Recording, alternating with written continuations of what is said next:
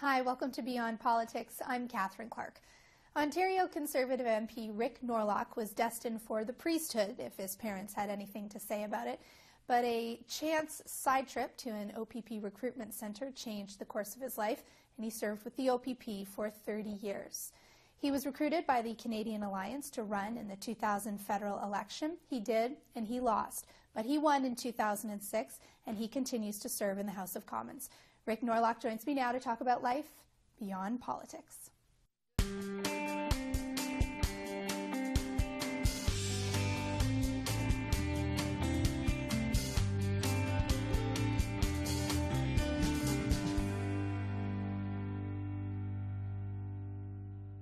Rick Norlock, welcome to Beyond Politics. It's great to have you here. And it's great to be here. Well, I thank you for taking the time. You know, I thought I'd start by asking you about your mom and dad because I'd heard that your dad was a lumberjack. Is that yeah, true? Uh, yes, he uh, started uh, back in the late 20s, early 30s at 13 years of age No, during the Depression. really? Uh, assisting his father, who was a teamster, Yeah. meaning he had the team of horses and my dad helped him out. Uh, so that was his, if, if, if he were alive today, he would say that was the love of his life work-wise. Okay. He's uh, in the bush, northern Ontario, with a crosscut saw with his two brothers. Uh, it sounds, when I talk to high school kids, it sounds as though I'm ancient, but he actually did, he and his two brothers, build the houses, uh, build the log cabins that, uh, that they brought their brides to in northern Ontario. And uh, Wow. it, uh, I have some pictures to prove it to the grandkids. Do you really? Are the houses still in the family? Uh, uh, the, oh, those they don't exist They're long anymore. gone. Used the history was you'd build a sawmill, cut you know cut the bush that was commercially uh, uh, viable, and then you moved on somewhere else, and they built a little railway spur. So most of those houses just deteriorated, and I I went to where the houses were, and there's really not much there anymore. Isn't that something, though? Mm. Um, you said it if you'd asked him that that would have been the work-wise the love of his life. Yep. Um, did he go on to do something else then? Yes, after uh, my brother was born, I'm the eldest of six kids, and after uh, after my this number two was born, uh, in those days we were getting, of course, we were I'd be about three or four years old, so you were getting close to school age, and because there were sort of mobile communities, there wasn't really much in the way of infrastructure. Yeah. Uh, on Sunday night, you put your children on the train, and they would go to boarding school, and you would get them back on Friday evening or Friday afternoon. Right. So my dad didn't think that was a good way to raise a family. Uh, he came from a large family and intended to have a large family, which he did. So we moved to the Ottawa Valley here, just uh, and Dad went to work as a laborer in the in an open pit magnesium mine near Renfrew, and Right. that's my hometown is is the town Is of Renfrew.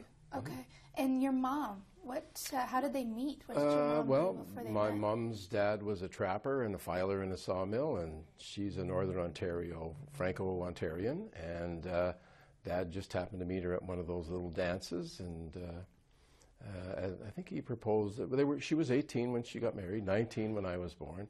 It sounds today like you were robbing the grave, but in those days, that uh, that, That was, was life. the average age, right? Yeah.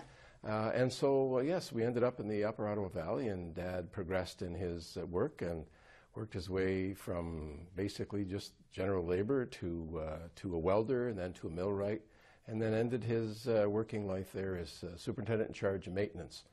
And I suppose that, and he was very involved in his in his union, the United Steelworkers of America, uh, and he also did some. Uh, uh, some union organizing, so different plants he would drive to. So he was uh, a trade unionist, and uh, I can recall the time he made an announcement in the living room that he was going to Ottawa to found a political party for the working man, and that was the NDP. So, Wow. So- so, how did you end up a conservative? uh, well, you, I uh, let's just say uh, I accredit uh, Bob Rae for that. Actually, Okay. uh, being the premier of Ontario, Yeah. and uh, I'm told not to say these things, but th- they're the they're the facts, they're Yeah, the truth. I right. voted for him the first time, and and I must say that uh, didn't think uh, he did a very good job, and didn't really think of politics. Followed my father's Yeah. advice, and uh, you know, I thought my dad was a great guy, loved him, and Sure. so politics was minor in my life at that time. Policing was all encompassing, so. I took my political lead from my father, as most, as Yeah, many, yeah, not most, course. but many Canadians do Right. and then got to thinking about politics after uh, my kids were older, and certain things were happening in my life, and I reassessed who I was, what, what I believed in, and found out I was a conservative and sent Now- away for membership in the Reform Party. Was your dad alive um, Uh, when you'd made the decision Y- uh, yes. uh, that politically you yeah, didn't but it wasn't. the same? No, it wasn't a. I just a wondered real, if you'd had a. It wasn't a real big deal to him at that time because I was still a policeman, right? Sure. And I was uh, the boy who, uh, you know, who was doing things that he wasn't raised to do. In other words, we were. There were certain things in my life, organizations I belonged to. Yeah. Uh, he was a Knight of Columbus. I became a Mason. Uh, those were little things. He wondered what, what was going on there. But uh, so I sort of drifted away from the path that, let's just say, I was. I was. They had designs on me uh, uh, to be the priest of the family, and uh, Wow, as the eldest, of as course. the eldest of six and Right. the boy, and Yeah. I was sent to uh, to Catholic school when Catholic schools weren't fully funded in Ontario. Yes. And so Dad, uh, Dad sent me to the local Catholic school in Renfrew, and Did they hope you would become this, or I- did I they think- see something well, I think in they you? were sort of pushing me along those lines because my Yeah. other brothers and sisters went to the public high school, right? So, so there was a design. This was a there. fairly blatant uh, Uh, push pretty well, then. but yeah. uh, did they say it to you? didn't. Mm, I don't recall quite like that, but they would always say that I had a, you know, you have a more of a sense of responsibility and blah blah, and Yeah. those sorts of things. And of course,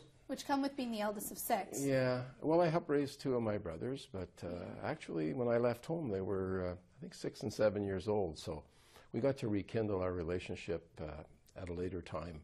Sure. More like brother. They were more like cousins for a while. Yes. But uh, but that changed uh, when my dad was leaving this world. Uh, we did a vigil in his, by his bedside and got to spend a lot of time together with my youngest brother, who works in Ottawa here oh, nice. uh, for the Ottawa Sun. And so, anyways, to make a long story short, um, we're very I'm very family oriented, yeah, and uh, so we uh, we had some very interesting discussions, my dad and I, I but bet.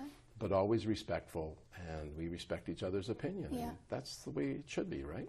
When you were a kid, as the eldest of six, and it would have been a really busy household, um, did you have special responsibilities that? Uh, well, let's just say that when I had my kids, my wife's a registered nurse, Yes. and uh, sometimes nurses, uh, they're good mothers, but uh, some things they don't know. So I would be holding the kid, and she'd say, "Oh, be careful, be careful." I said, "Kids have Malleable bend- brains.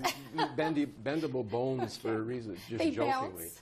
So when my brothers and sisters were younger, I did the laundry, you know, cleaned the diapers, made formula, did all those things that uh, bode well for me when I was when I had we had our children because my kids didn't have flushaby or flushable diapers as they call them. Yeah. We had we had flannel diapers and uh, diaper pails and all that because I just thought they were better. Yeah. I don't know if they are, but I thought they were. So Right. You do what you're what comes natural, right? And that's that's actually very interesting because not a lot of dads have an opinion.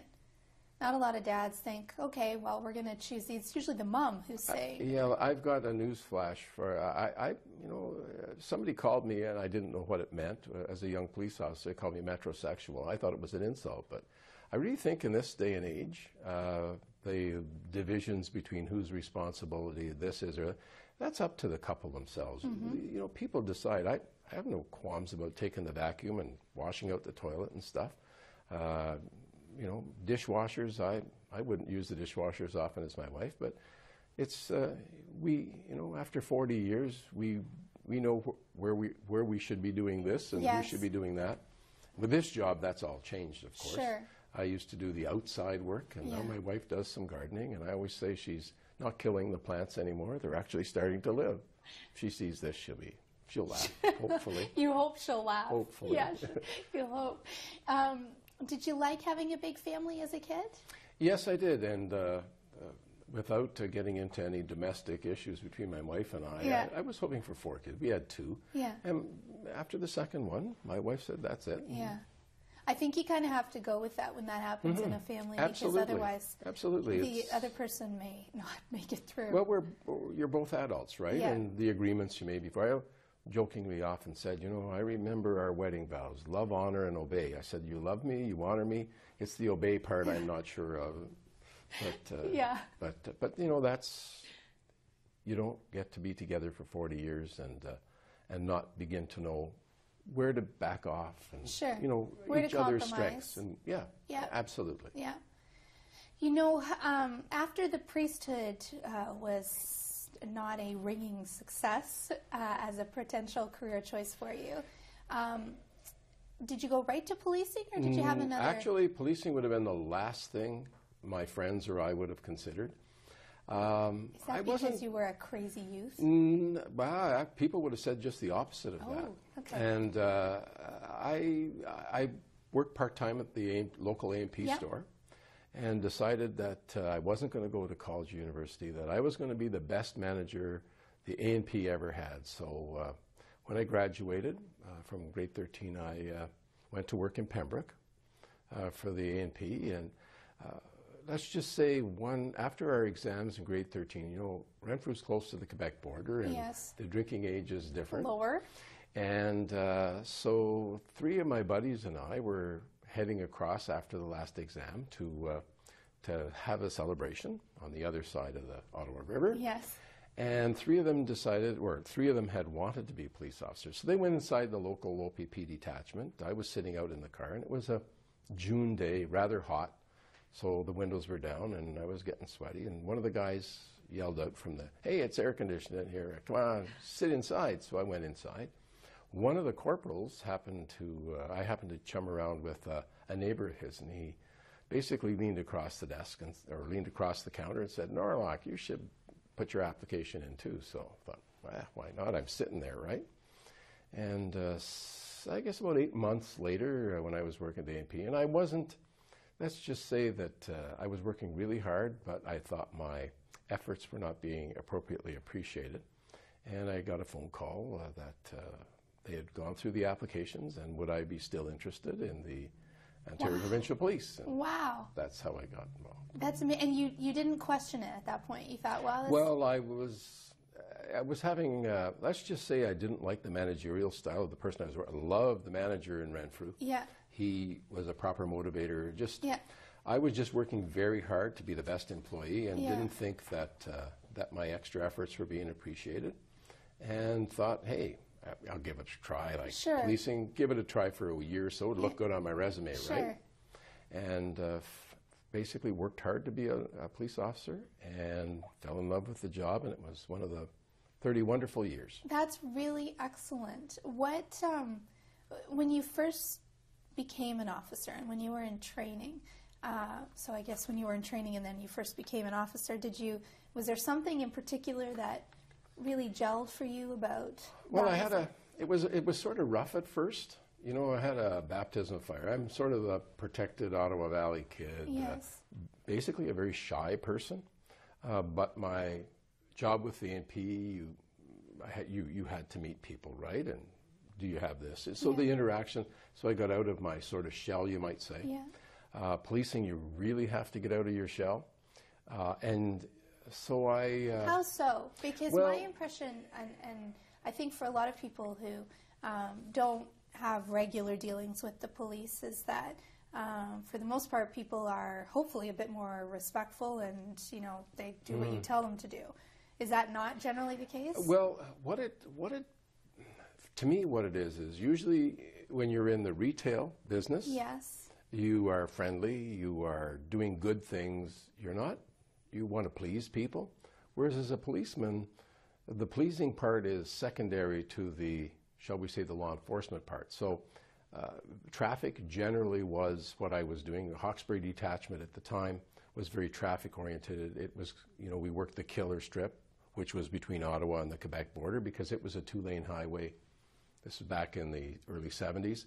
And then, and then after the, um, you know, after the Olympics, it was a four-lane highway on the on the Quebec side. So we had one of the highest fatality rates in Canada per per mile at the time. Uh, so you had to. The negative thing for me is I came from a, a, work, a lower working, blue collar working class family, so I didn't have a lot of driving experience. So here I am, uh, trying to negotiate at high speeds through traffic, and let's just say I had to uh, drive all the time. I had to practice off time. Uh, I boarded with another police officer because I, I, I, I like a family atmosphere. Yeah. So he had a young family. Uh, I sort of fit in there, and I helped babysit his kids, and be, you know, so I, you know, uh, sort of the family thing. But Felt he like helped home me. in a way, He- too. Absolutely. Yeah. And so he and I worked together to improve my driving skills. But getting back from a personal perspective and relationship with other people, so yeah. policing is a different relationship. Today, even today, it's a little bit different. The story I liked, I like to refer to, you know, and I say this for the parents out there, is don't use the policeman as the big bad guy. I remember when I was in Campbellford Detachment, as a supervisor there, a mother came in with two of her young children probably six, seven, eight years old. And I guess they were misbehaving. She brought them in, and she wanted me to put them behind bars to oh, show no. them what it's like if you don't behave. And she I, must have been having a really bad she, day. Well, she and I had a little discussion that the policeman should be looked at as as the person you go to when you you know when you're when you're in trouble or to go to for help. We're not the big bad policeman. We're the we're officer friendly. Right.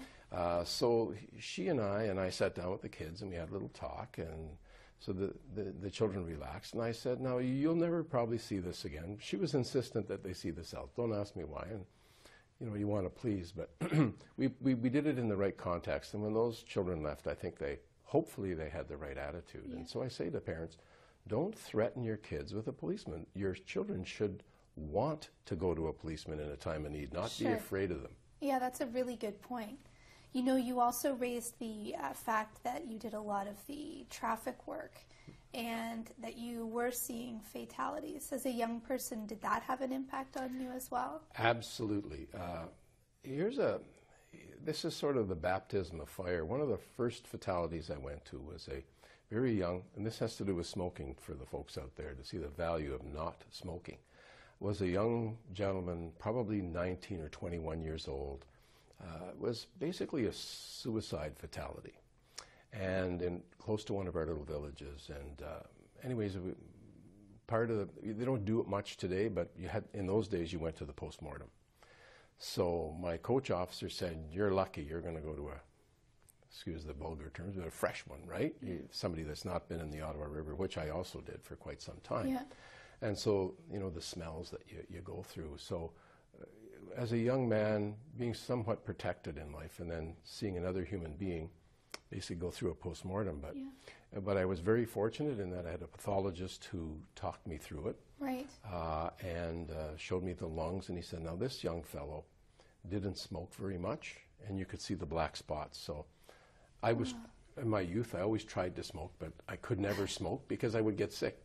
Yeah. It, it bothered me then because that was part of being the mature guy, right? right? In the Ottawa Valley is and no filters, but never did work for me, so I never did smoke. But uh, that, if I was disposed to want to, that sure dissuaded me. And I bet. So it is those, it's those experience uh, going to your when you're on your own, going to a fatal snowmobile accident, having the mother there, having not seen the accident but in the same village, saying, "Officer, do something."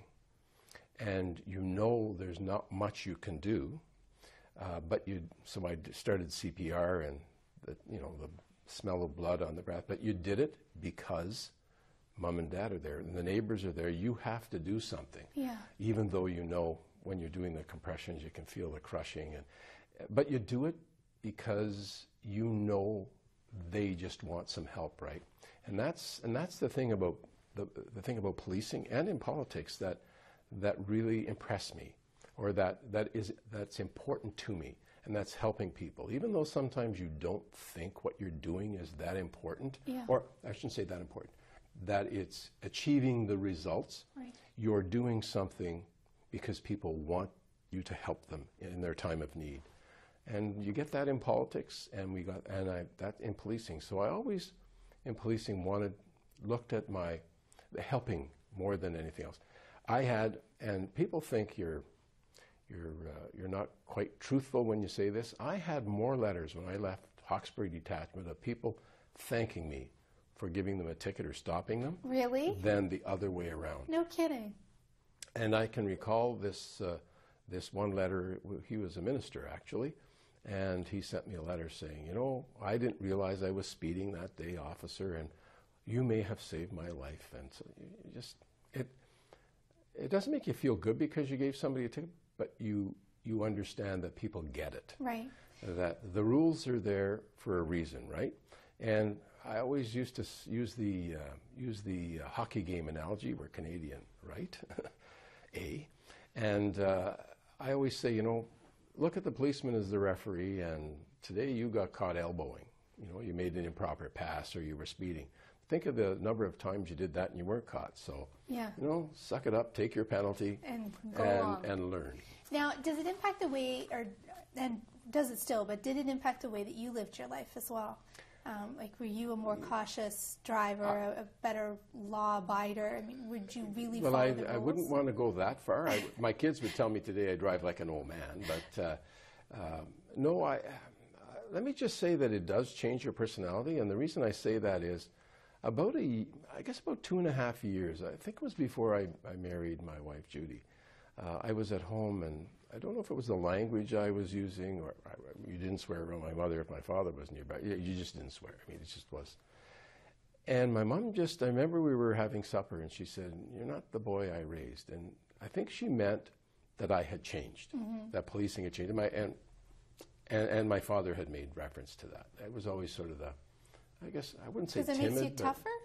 I, I just, yeah, more outgoing. Mm-hmm. Uh, I, I guess lived up to the mach, a little bit more macho, whereas before I was more reserved. Right. And, uh, I, will let other people tell you what I was like. Uh, you know, I just think I was just a, just just a different person Yeah. because of the way I was raised, the school I went to, and uh, Yeah.